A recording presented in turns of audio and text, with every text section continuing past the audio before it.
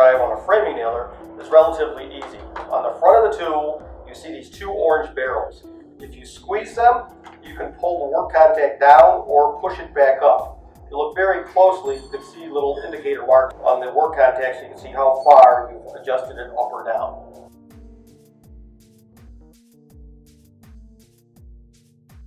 To adjust the depth of drive on a trim nailer, all you have to do is turn the thumb wheel located on the battery compartment side of the tool either roll it left or roll it right, depending on if you want to drive deeper or drive more flush.